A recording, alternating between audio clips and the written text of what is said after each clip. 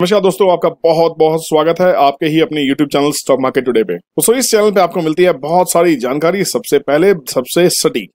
वेदांता की डीलिस्टिंग की न्यूज़ के बाद एक और ज़बरदस्त न्यूज़ जिसने बाज़ार में सबको चौंका दिया है। लोग सोच रहे हैं कि इतनी बड़ी बड़ी दिग्गज कंपनियाँ डीलिस्टिंग के लिए क्यों तैयार हो रही हैं, क्यों डीलिस्टिंग कर रही हैं? हर कोई ये कह रहा है कि वो आने वाले समय को ध्यान में रखते हुए इन्वेस्टर्स को प्रोटेक्शन में ध्यान में रखते हुए इन्वेस्टर्स के लिए कदम उठा रही हैं रिस्ट्रक्चरिंग करेंगी, ये करेंगी, वो करेंगी। दोस्तों, चलिए, आज का टॉपिक रहेगा हमारी अदानी पावर की डीलिस्टिंग के बारे में।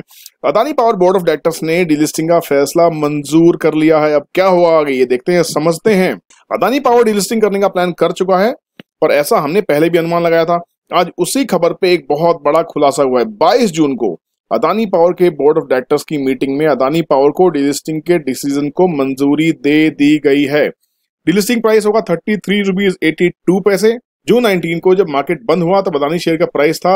इसका साफ़ साफ़ मतलब ये निकलता है कि अदानी शेयर्स ने 19 जून के मार्केट क्लोज प्राइस से 10 परसेंट नीचे का प्राइस टारगेट रखा है डीलिस्टिंग के लिए। इसका क्या मतलब है? अब आगे क्या होगा और इन्वेस्टर्स क्या करें? ये जानने के लिए पूरा वीडियो अंत तक ज़रूर देखें। दोस्तों, अगर आप स्टॉक मार्केट में नए हैं और अगर आप ट्रेडिंग या इन्वेस्टमेंट करने का प्लान कर रहे हैं तो इस वीडियो के डिस्क्रिप्शन में एंजल ब्रोकिंग जो इंडिया की नंबर वन कंपनी है, उसका लिंक दिया हुआ है। इस पर क्लिक करके अपना अकाउंट खोल सकते हैं और अपनी स्टॉक मार्केट की जर्नी को आगे बढ़ा सकते हैं। दोस्तों, इस ग्राफ को देख के आप समझ गए होंगे कि अदानी पावर्स के शेयर प्राइस मार्च 2020 के बाद से नियरली 50 परसेंट इंक्रीज हुए हैं। और इस पीक टाइम पे अदानी पावर के बोर्ड ने फैसला किया है कि कंपनी को डिलिस्ट करना चाहते हैं। उनका कहना है कि डिलिस्टिंग का डिसीज़न कंपनी के शेयर होल्डर्स को बेनिफिट को ध्यान में रखते लिया गया है। अदानी के डिलिस्टिंग के डिसीज़न के इमीडिएट बाद अदानी पावर्स के शेयर में चार परसेंट का फॉल दिखा। हालाँकि बाद में उसने रिकवर भी किया और थर्टी एट रुपीज़ के आसपास क्लोज होने में कामयाब भी हुआ। इसका मतलब है कि इनिशियल हिकअप्स के बाद अदानी शेयर ने झटका संभाल लिया। ये काफ़ी इंटरेस्टिंग है कि अदानी पावर ने डिलिस्टिंग प्राइस 19 जून के क्लोजिंग प्राइस से 10 परसेंट कम रखा है। क्या इस डिसीज़न के बाद इमीडिएटली डीलिस्टिंग हो जाएगी? नहीं। डीलिस्टिंग का मतलब होता है कि जब कोई कंपनी अपने शेयर्स मार्केट से उठा लेती है और इन्वेस्टर्स और कॉमन पब्लिक उसमें और ट्रेड नहीं कर सकते हैं। डीलिस्टिंग के टाइम पे डीलिस्टिंग करने वाली कंपनी अपने शेयर होल्डर्स को पैसे देके उनसे उनके शेयर्स खरीद लेती है, जिसको रिवर्स बुक बिल्डिंग प्रोसेस कहा जाता है। चलिए एक नज़र डालते हैं अदानी की डेट हिस्ट्री के ऊपर में। अदानी पावर का नेट डेट एज ऑन सितंबर 2019 है 523.5 बिलियन रुपीस यह फिगर एक साल पहले 447.8 बिलियन था। इसका मतलब साफ़ है कि नेट डेट इंक्रीज हुआ है। अदानी पावर का नेटवर्थ 117.3 बिलियन रुपीस है।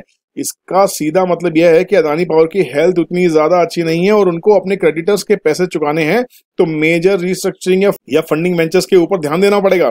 क्या यही वजह है कि अदानी पावर्स ने डिसीज़न लिया है कि अब शेयर मार्केट से आने वाले डिविडेंड से उनका डेट सिचुएशन इंप्रूव नहीं होगा और शायद कंपनी के फ्यूचर्स को सिक्योर करने के लिए यह डिलिस्टिंग का फैसला लिया गया है?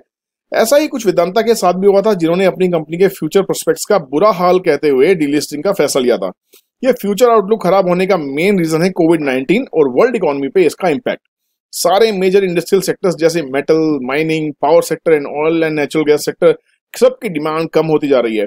क्योंकि लॉकडाउन अभी भी इफ़ेक्टिव है और बहुत जगह से कोरोना पूरा कंप्लीट नहीं हुआ है तो सिचुएशन अंडर कंट्रोल नहीं है। अब सवाल खड़ा होता है कि इन्वेस्टर्स क्या करें? दोस्तों, इस ग्राफ पे ध्यान दीजिएगा और आपको समझ में आएगा हम क्या बात कर रहे हैं।